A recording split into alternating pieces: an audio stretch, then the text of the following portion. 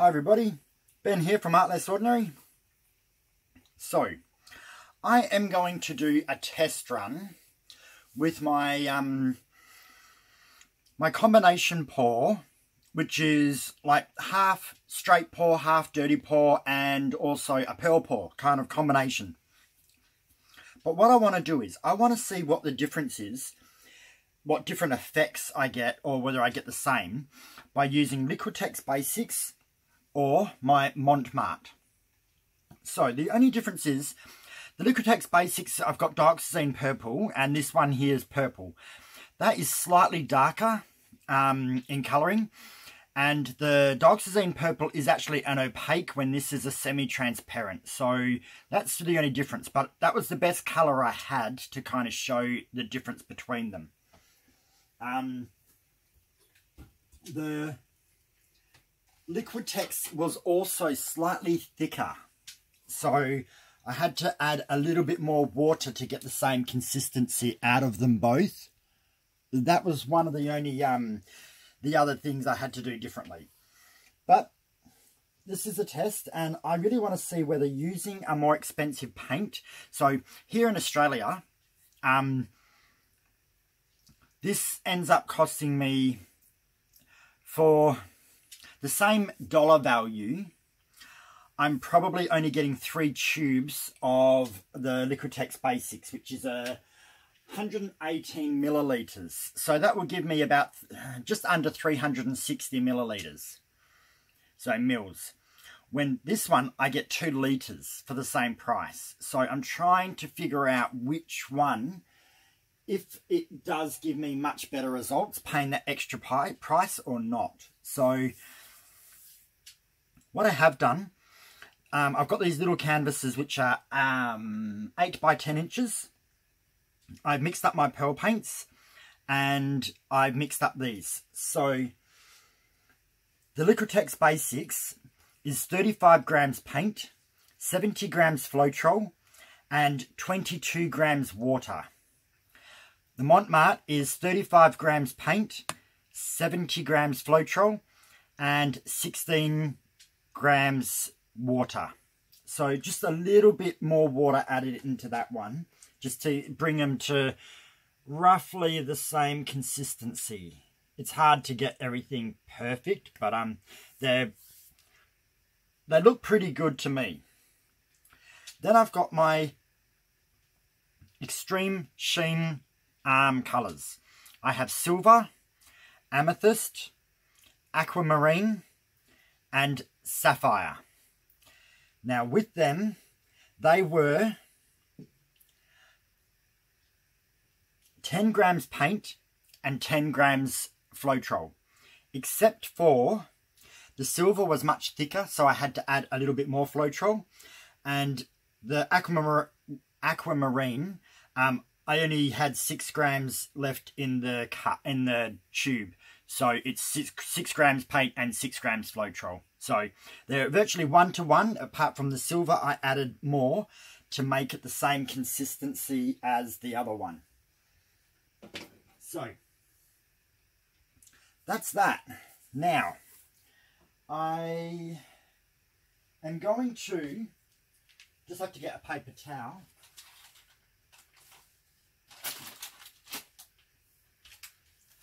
So um, what I've done is I painted the, the sides and the corners. Uh, they're not completely dry yet, but um, I'm not overly fussed. I just wanted something there to kind of help it along a little bit.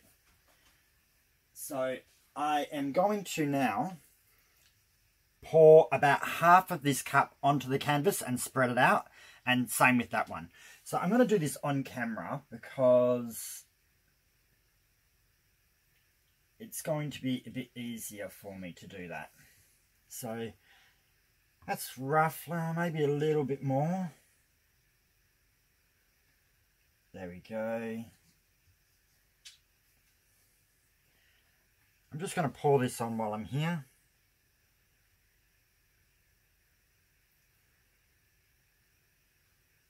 I think that's about the same left in the cups. So I'm trying to keep everything as as even as possible. So you can see it's a little bit darker than that one. So I'm just going to spread this out. Not going to do anything overly perfect because it's more just giving the paint something to flow flow over.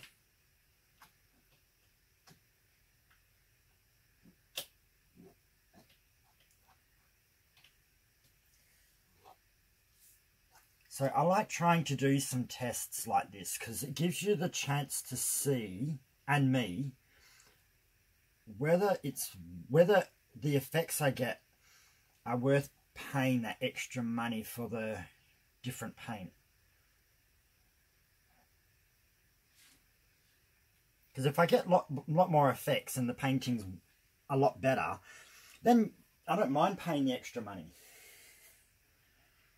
Um, I do I do quite like um, the Mont Marte paint, but I thought this is a good way because uh, when when I watch videos, everyone else is in America and they use the Liquitex Basics.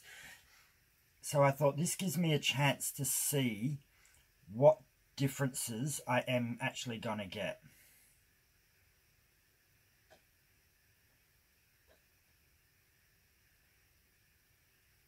And these are all mixed with Australian Floetrol.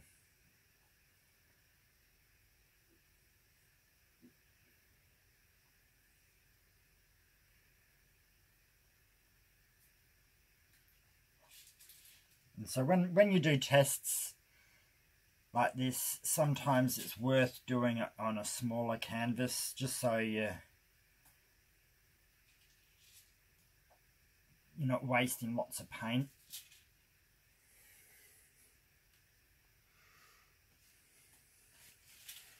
Okay. I'm happy with that. That's good enough. I am going to give it a quick torch just to make sure I've got the bubbles out.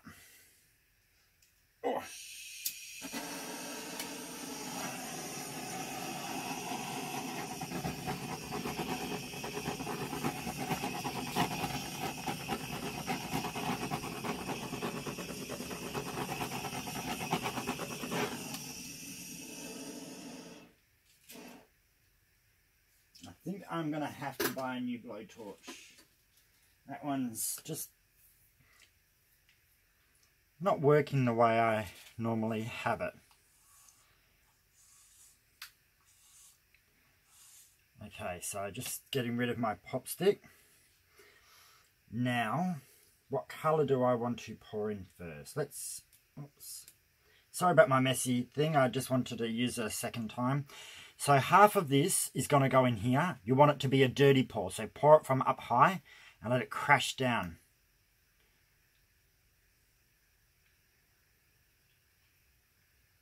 Then we're going to go some silver. Again, up high, let it crash down.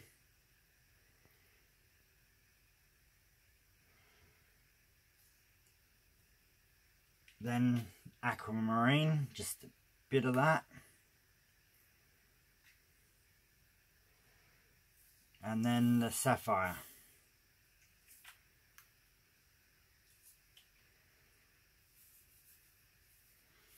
So that's about half, except for the silver needs just a tad more. There we go. So that's all in that cup, nice and crashed down into it.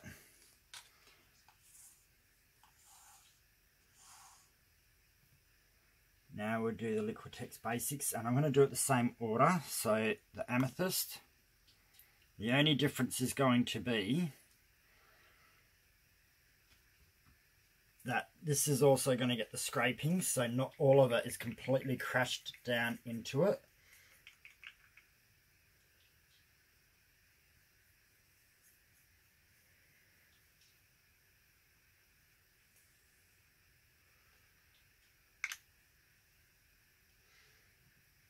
Then we'll go some of the silver, crash that down. I'll put the other silver on the top like I did again with the other one. Aquamarine, crash down.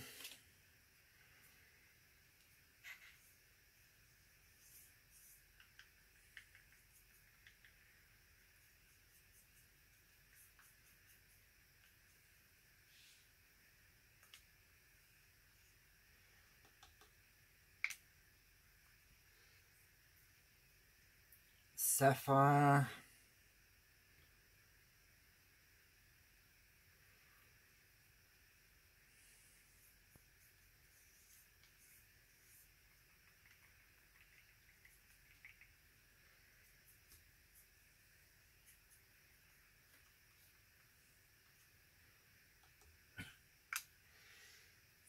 and then the last of the silver.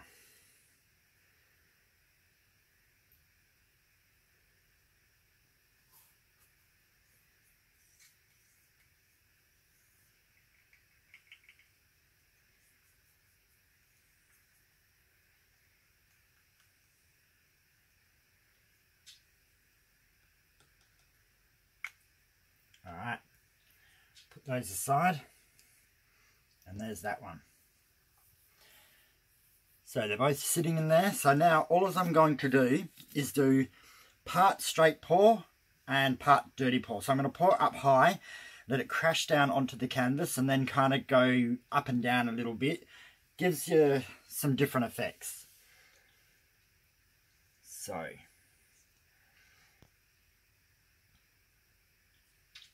where are we? It that way. High at first. Let it crash down, bring it in.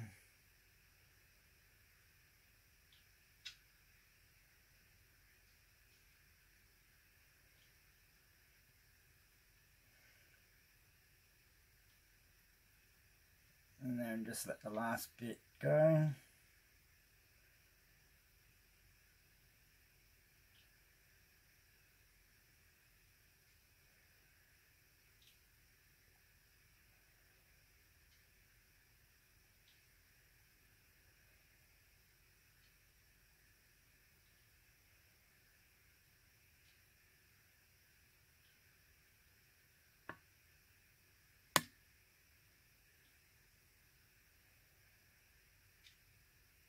Just holding it. looks like it's nearly you want to stop it just before it starts to drip.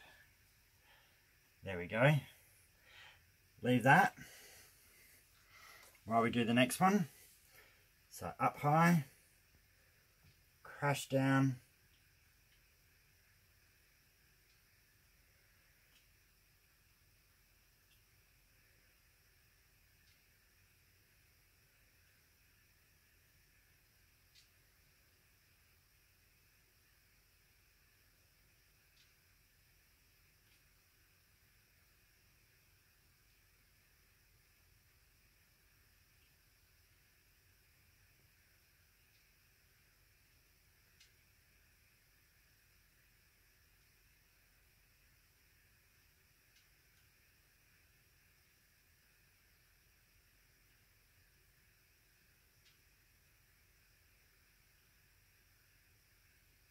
there.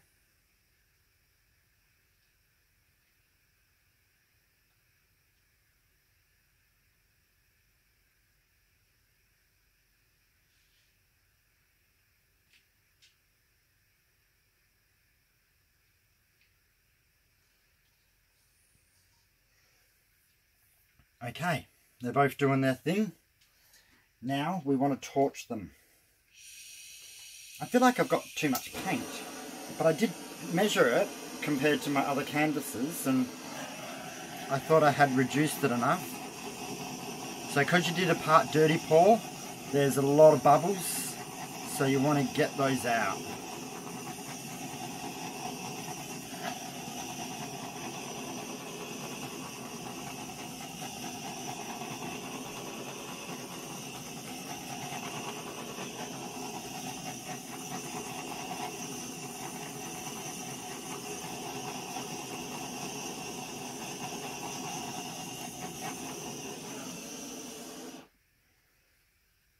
Okay.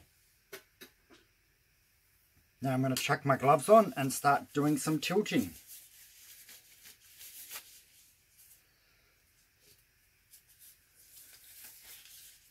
So they're both bringing up effects.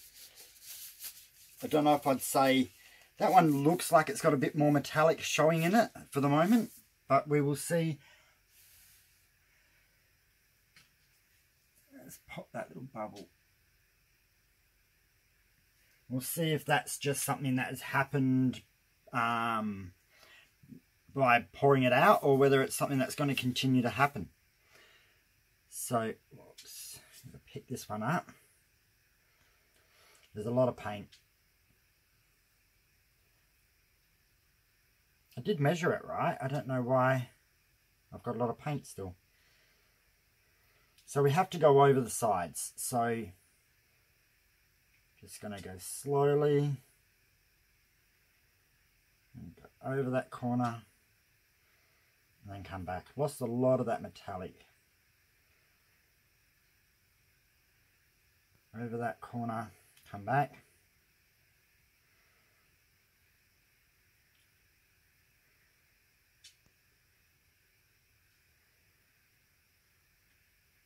Over that corner and come back, which didn't go fully over the corner, but that's okay. And last corner, over there, come back. I'm just going to get that corner bit a bit with what's on my finger. Double check the other corners.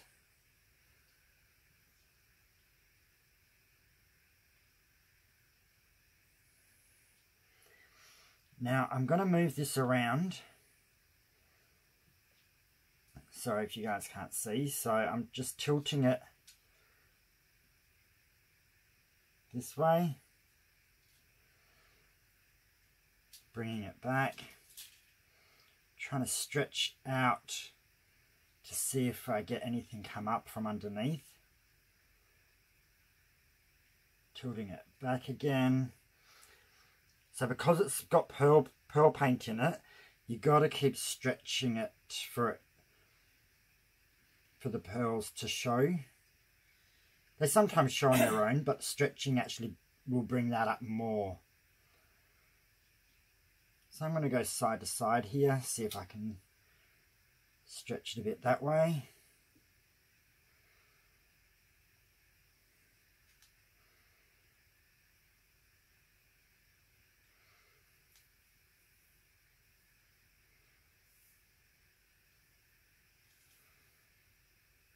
Going to tip a little bit more off. There's a bit too much paint. So I'm tipping it off this corner where I don't have a lot of effects or any pearls showing up yet. And then coming back. Hopefully taking a bit of that paint off is going to cause it to get some pearls come up.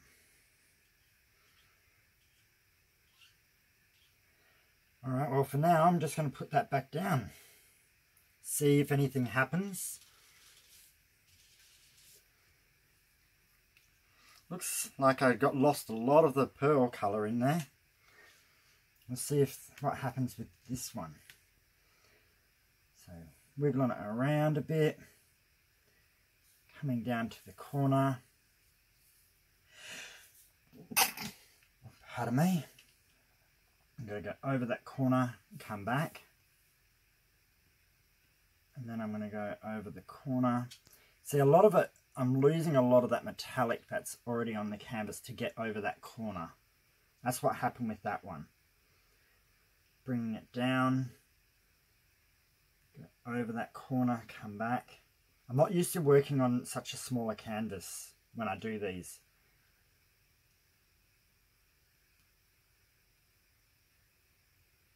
Over that corner, come back.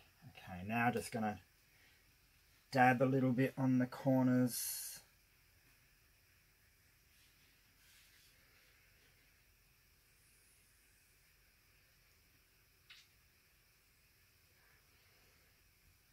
Now the same deal. I'm going to move it around. I'm probably going to have to tip a little bit more off a corner. So I might go down this way, tip off this bottom corner down here. So you always go the one that seems like it's got the least amount of effects. Over, come back.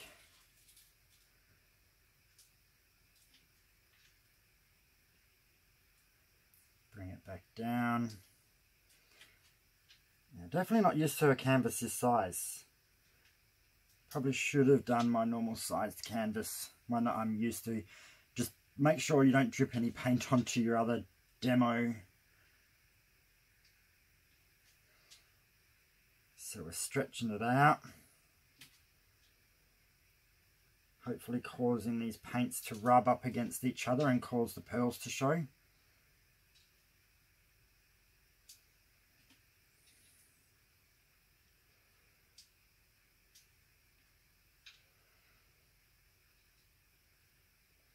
Do feel like I've got too much paint still, so I'm going to tip a bit more off this side.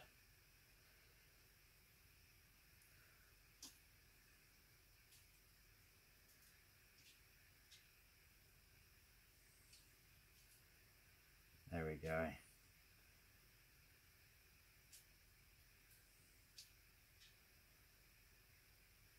You kind of need the paint to push up against each other in a thinner manner, not too thick you've got too much paint on the canvas, the pearls just have a little bit more trouble showing. You can see some appearing, which is good.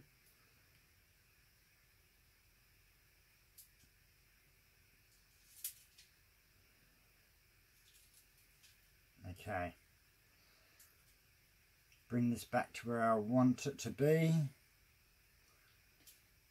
and then stop. Now, I'm going to take my gloves off.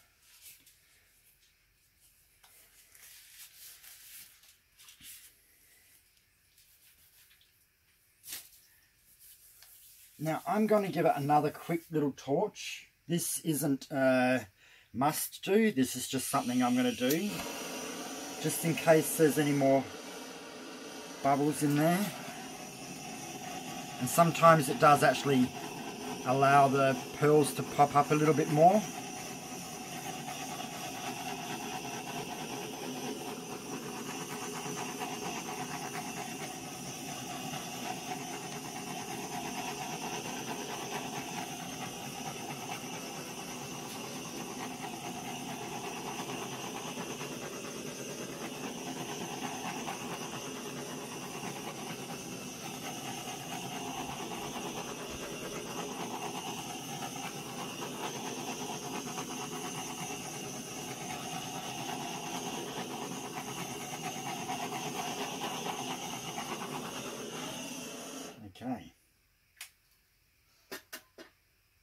One thing I do like about this is I like the dioxazine purple being a bit darker. It's a little bit more rich um, in colour than the normal purple from the Mont Marte.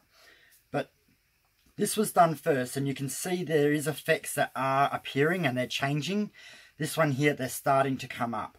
So the only way to really see how this is going is to pause the camera, come back in about 10 to 15 minutes and see what has appeared on what one and whether there's a huge difference or not. Um, so far, it doesn't look like there's going to be a huge amount of difference between them. Um, but we will wait and see. So, I'm going to pause it and I'll be back in about 10 to 15. Alright, we are back and it has been 15 minutes. So, they both have got effects.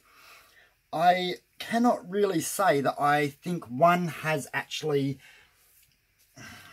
I'm not going to say one's turned out better than the other because when you do a pour, um, it is kind of random where the paint goes. But they both did bring the similar type of effects. So this one here has got a river of pearls that run through that area. And over through here, we've got pearls that are coming up in some of these more solid areas. Same with this. This actually looked very plain, and I was really worried I wasn't going to get any effects. But look how the pearls have kind of come up all through here. This area here was what was already there. That stayed, but has, has enlarged. Down here's more pearls, and all the way across. So this one has got more effects in it, but I think that's just because the there was more dirty pour um, left on the canvas. when this one here, that top part there, that little river back and forth, that was um, the straight point at, at the end of the cup. So you don't always get the pearls in that. So I think they both are actually giving similar effects. It don't really think there's going to be much changes from now. Um, this will probably dry a little bit darker than this one. Only for the simple fact that I think the Dioxazine Purple will dry darker in the long run than the Mont Marte. But um, multicolored cells in here. Some of these cells are a little bit larger. Um, but yeah, I'm I'm overall happy with either of them. So now it just comes down to what I have at the time. But I know that if the Mont Marte works and the Mont Marte gives me quite good effects, I'm going to stick with it because ultimately the price, um, for me at the moment, the price makes a difference because I don't have a lot of money to spend on paints and I probably spend more than I should anyway. I think a lot of us do. and I get good results. Good results, it works, so I'm happy to stick with this. Um, but I'm really happy that I did the test because I have been wondering for nearly a year now, I've been wondering what's going to give me better effects. And ultimately, I think they're both giving me the same type of effects. So no need to stress about it anymore. Like it's one thing I can tick and say I don't need to worry or, yeah, overthink about it. So I'm going to bring you down for a close-up of both and we'll see what you think. So there we go. This is from my angle. So as you can see, both definitely have effects in there. They both got pearls. This one's got that river of pearls running through. This one's got pearls in different sections. It's it's just the way that the um when you're tilting.